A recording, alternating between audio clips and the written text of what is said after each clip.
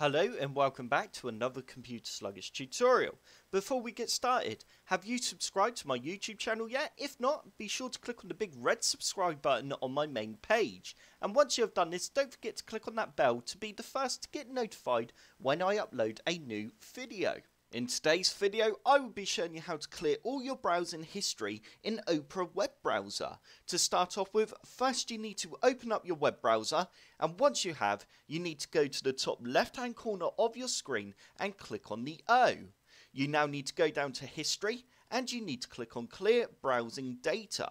You can also open this up by going Control, Shift and Delete you will now have a screen that looks like this. Straight away at the top, we can choose when we want to delete our browsing data. For example, I can delete my past hour of browsing data, or I can delete the past day, past week, past four weeks, or the beginning of time.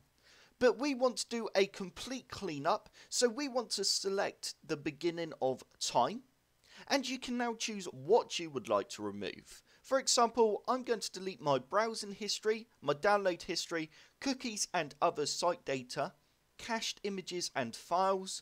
I don't want to remove my passwords, and I don't want to remove the autofill form data, as it just makes a life a lot easier. Once you've cleared all your history, you can just sign straight back into all your accounts like your Outlook, your Facebook, and it basically stores that data for you. Also, I want to remove news usage data as well. That's all fine. Once you're happy with your selection, you can go ahead and press clear browsing data.